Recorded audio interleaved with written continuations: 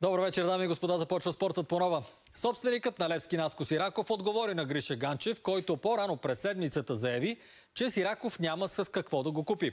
В предаването на Фокус по нова, голмайстор номер едно в историята на сините заяви, че няма как матч между вечните съперници да бъде купен.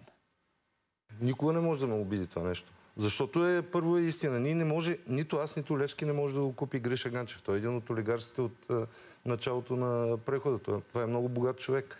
Много трудно някой може да си представи, че матч Левски ЦСКА може да бъде купен. Аз по- поне в последните 40 години мога да гарантирам, че а, не съм си и помислял, че може да се случи такова нещо. Наско Сираков говори и по темата дали ще пътува до Дубай за среща с бившия собственик на Левски Васил Бошков. Аз никога не съм казал, Като че напишеш- пътувам. Аз ако има нещо такова, първо ще се чуя с Васил Бошков. Ама- Аз и разговарях с него по телефона преди около два месеца, точно на тая тема. И затова смятам, че е безмислено да, да, да хода до Дубай.